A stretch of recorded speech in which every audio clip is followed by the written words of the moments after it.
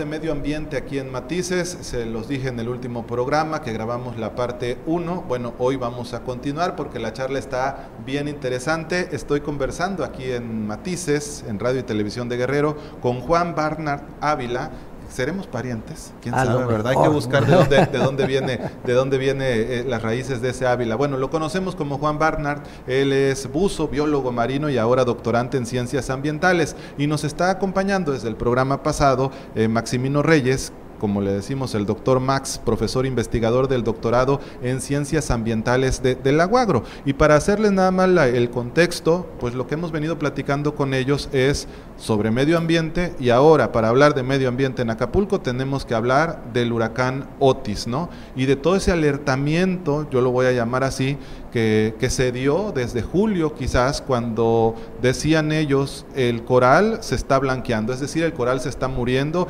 está a una temperatura mayor de la, de la acostumbrada y eso podría causar, si llega un fenómeno, pues podría ser el combustible perfecto, ¿no? Para que se dé la, tormenta perfecta. Entonces la pregunta es, ¿lo, lo pronosticaste, Barnard? Pues no, no, no nos aventamos a decir eso o teníamos los datos. Teníamos los datos, incluso tuvimos unas entrevistas aquí en RTG. ¿Qué dices que alguien te dijo, ¿no? Ahí en radio. Sí, aquí en radio, hace unos días que vino una entrevista, me dice, oye, Juan, tú dijiste que esto iba a suceder. Bueno, dije que podría suceder, porque una de mis preocupaciones después de los corales era tenemos tanta agua caliente y a esta profundidad que si llegara a pasar un fenómeno hidrometeorológico podríamos tener un problema grave aquí en Acapulco si esto pasara aquí cerca de Acapulco. Lo que era una suposición, hoy podemos decir que esto, ahora lo podemos decir que es una teoría y estamos encargándonos de comprobar esta teoría que uno de nuestros compañeros, el doctor Zárate, está haciendo una recopilación de toda la información por medio de los satélites con Dr. Max de 10 años para acá, por ejemplo, ¿no? Las trayectorias que siguen los huracanes, los ciclones, esto empieza desde depresión tropical, tormenta tropical y un ciclón. las, de acuerdo a la velocidad de cada uno de estos eh, fenómenos es como van subiéndose en la categoría. La categoría de Zafir Simpson, que es la que se utiliza actualmente, dice que de 195 a 250 o más es categoría 5. Y no hay más, porque nomás hay hasta la categoría 5. Hoy yo creo que ya se va a tener que incrementar la categoría. tuvimos como 330, 330, ¿no? de acuerdo a la información de, la, de la estación mareográfica de la UNAM, que está en el muelle fiscal. Eh, las rachas que para que se cuenten deben estar 10 segundos constantes y marcaron 329.7 eh, kilómetros por hora, 330 básicamente.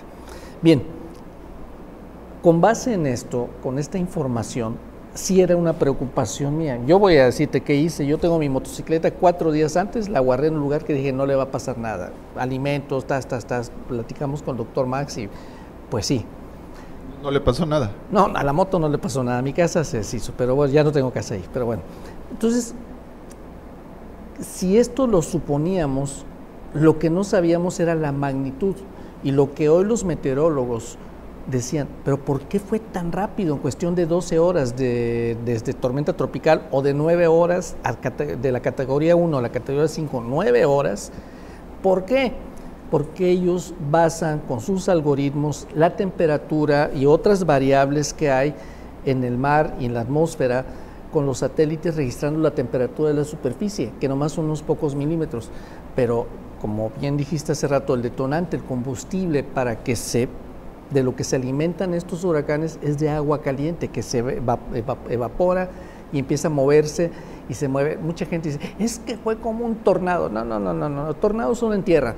El movimiento es el mismo exactamente, dependiendo si es arriba del Ecuador o si es abajo del Ecuador. Es como para el, lo que se llama por el fenómeno de Coriolis, cómo agarran este movimiento.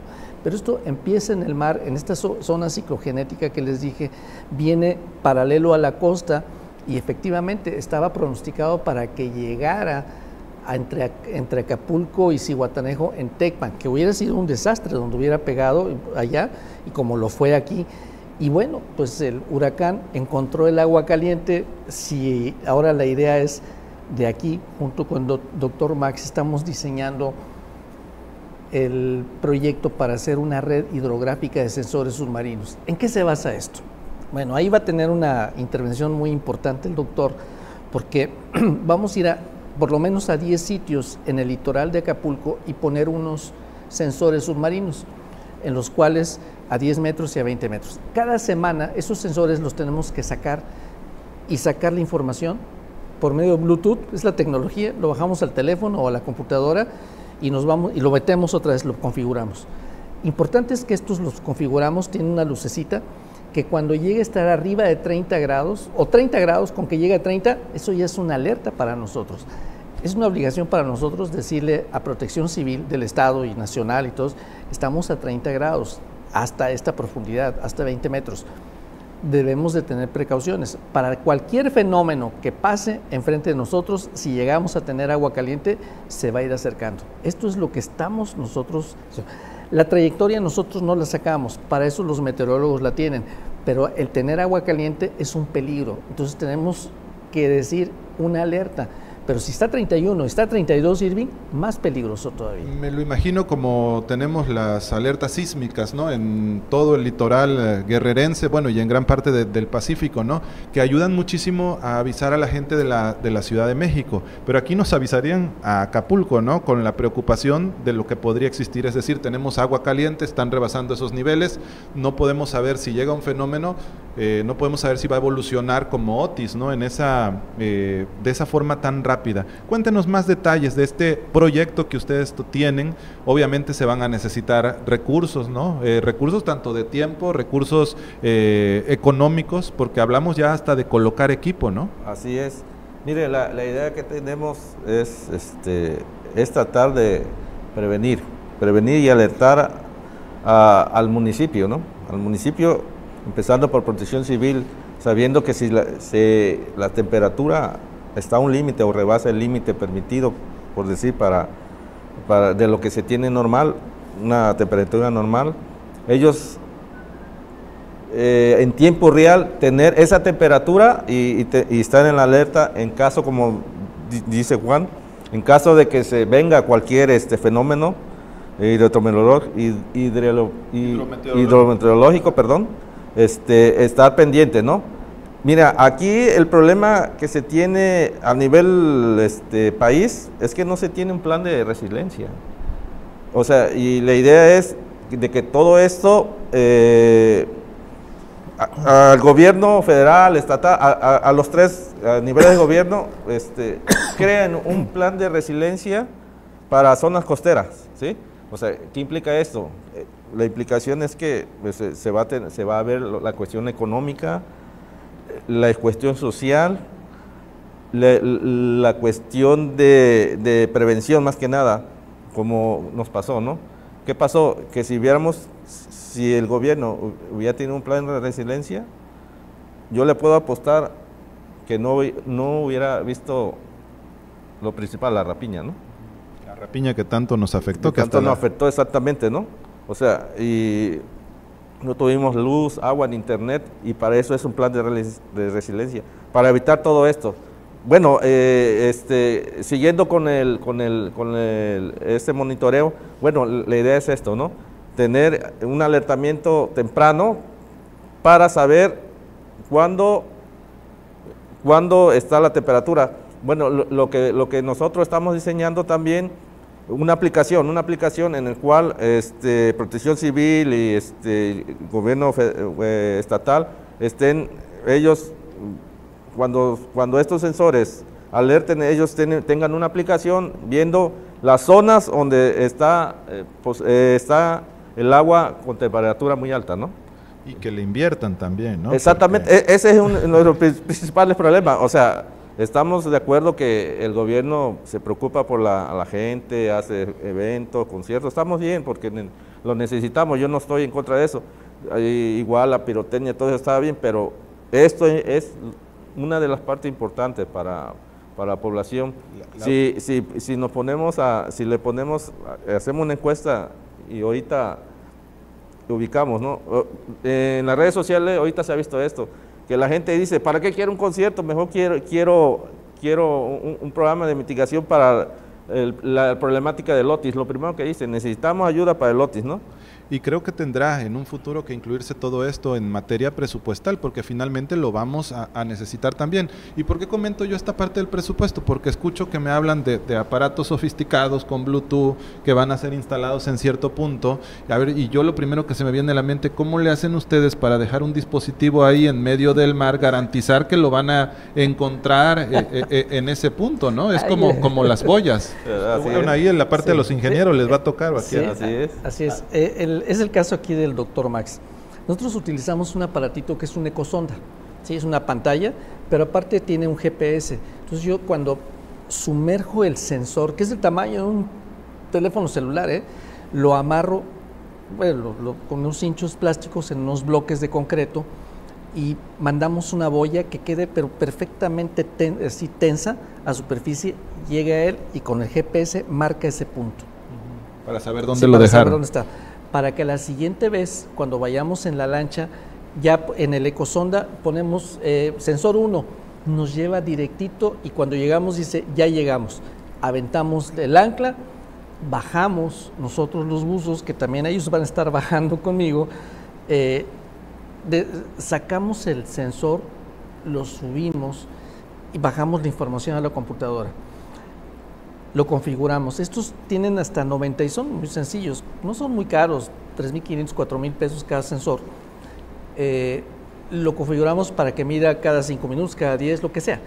Y tiene hasta 96 mil datos, pero nosotros lo queremos hacer semanal porque lo que queremos es tener esto. Idóneo sería que todo esto lo estuviéramos transmitiendo a tiempo real y tener aquí un centro de control para eso.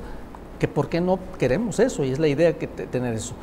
Pero por mientras, la talacha va a ser talacha submarina de llegar en el cayuco, como lo hemos estado haciendo ahorita, que los pescadores nos prestan o les damos dinero para la gasolina, sumergirnos, sacarlo, sacar de irnos al otro, al otro, al otro, al otro. En dos días yo creo que terminamos los 10 o 20 que tengamos y ya de aquí pasarlo a las computadoras, graficar para que nuestro compañero Alfredo, que esperemos que esté en otra eh, plática aquí con nosotros, por medio de los algoritmos vamos a tratar de sacar, junto con los datos de meteorología, la trayectoria, esa no nos metemos, sino las dimensiones de acuerdo a la temperatura que tengamos para todo esto. Poderle decir a la autoridad, hay, lo voy a marcar, lo voy a decir así, el combustible suficiente, ¿no? Para que esto, o, la lumbre suficiente para que esto se encienda más, ¿no? Como pasó con Otis. Déjenme hacer una pausa, eh, vamos a regresar aquí a Matices porque hay mucho que platicar sobre este tema, un tema que ahora sí, pues todos salimos, fue muy democrático Otis, todo el mundo salió afectado, entonces es algo que nos interesa a todos. Volvemos.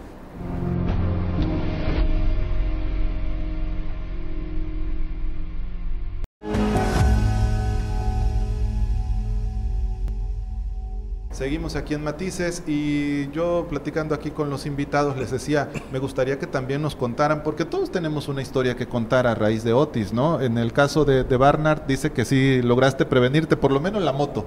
Sí, mi moto la pero mi casa, pues, mucha de la arquitectura de Acapulco siempre son terrazas muy amplias y cristales, ¿no? Para poder ver el mar. Pues mi casa se destruyó. Y como la de muchos acapulqueños. Como la de muchísimos acapulqueños. nos invitaron a un simposio de diseño bioclimático y cambio climático al doctor Max y a mí. Y los doctores, arquitectos, era todo el, tema del Otis. Querían saber, les platicamos todo esto. Y yo les suplicaba, sigan haciendo las casas como quieran, pero a los baños háganlos siempre como están hechos ahorita, porque ¿cuántas personas no durmieron esa noche en el baño? O en los vestidores. o en el closet. Yo fui un caso, yo salí del closet a los tres días y me siento bien. No, no, sí, es broma. Este, pero sí, eh, es, es, muy importante. Yo creo que todos sufrimos, aunque nos hayamos preparado. Pero para lo que no estábamos preparados, eh, Irving, esto lo que yo sí ya lo mencionó, fue para la rapiña. Y esto es una cuestión social, es una cuestión humana, es una cuestión donde eh, sacamos quizá los más bajos instintos, los acapulqueños, y no acapulqueños que vivimos aquí, eso lo vivimos y eso sí es muy grave. Y es ahí también donde yo no entiendo a las autoridades, los dejaban que rapiñaran sin tomar acción.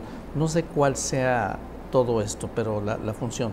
Más sin embargo, yo tengo que reconocer que hoy, y eso veníamos platicando hace rato, que por todos lados en Acapulco vemos unas filas inmensas, tanto de despensas, ahorita le estaban dando unos rollos de tela enormes ahí en la CROM, Eh, la ayuda que ha habido fue impresionante.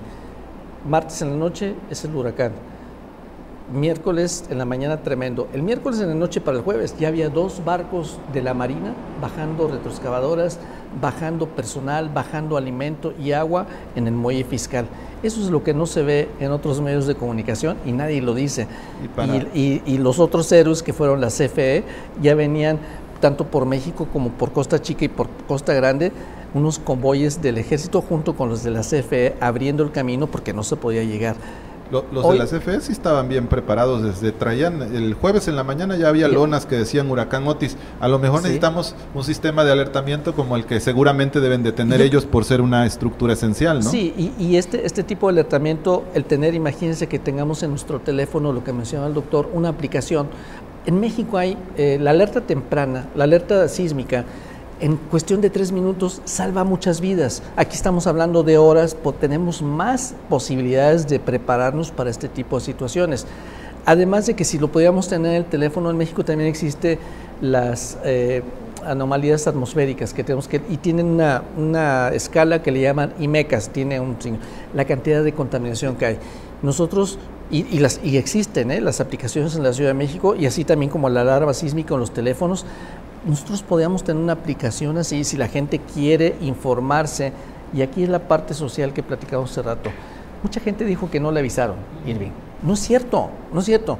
Nosotros tenemos en nuestros teléfonos, tiene una serie de algoritmos. Si yo estoy viendo en Facebook puras cosas de fútbol, me están bombardeando con cosas de fútbol. Si es de la Fórmula 1, de la Fórmula 1. Y en Instagram es igual. Yo, a mí me encantan los gatos. Y me, me mandan puras cosas de gatitos, ¿no?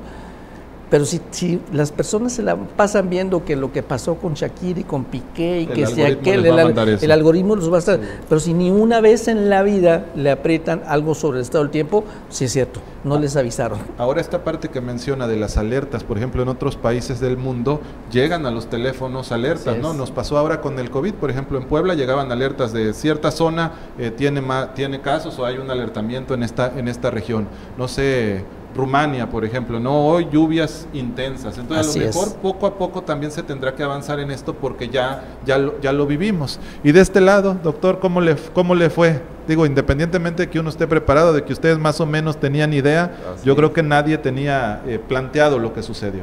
Sí, mire, este, bueno, como eh, también este, tengo algo de experiencia con la cuestión de, riesgos eh, por fenómenos naturales, pero lo que vivimos fue algo increíble, ¿no? Eh, yo llevo mis 50 años viviendo eh, donde estoy ahorita, tu casa. Este, nunca había yo pasado este tipo de evento, más que nada por eh, la magnitud que se, que se, que se dio, ¿no? En el cual este, mi cuarto, o sea, se llevó todas las ventanas, mi computadora, no les miento, algunos datos que tenía ya hecho con el compañero Juan Barda, también se fue. estaban flotando mis, laptops, mis dos laptops y mi computadora. Este, afortunadamente tenía una que estaba con, eh, ahora sí en el closet también, pero esa sí no le pasó nada. Es ahí el respaldo que tenemos, pero yo les comento, fue una experiencia traumática, ¿no? Y no, no, no, más para mí, para mucha gente. Todavía esa gente vive todo ese trauma, ¿no? De, del huracán.